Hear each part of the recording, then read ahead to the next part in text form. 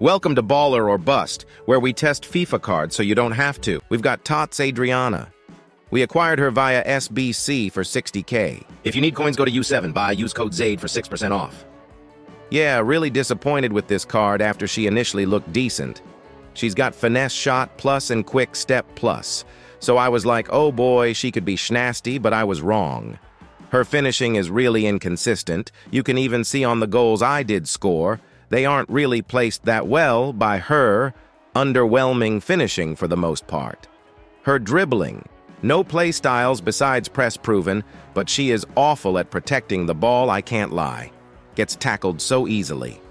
Has some awkward dribbling animations as well, certainly not smooth on the dribbling front. She's 5 foot 5 and has aerial bit of a waste there. Chip shot and power shot, too, doesn't really save her at all. No passing play styles and lackluster passing stats. Four star, four star to top it all off. Just doesn't really feel good in game. Requires a lot of chances to actually finish one.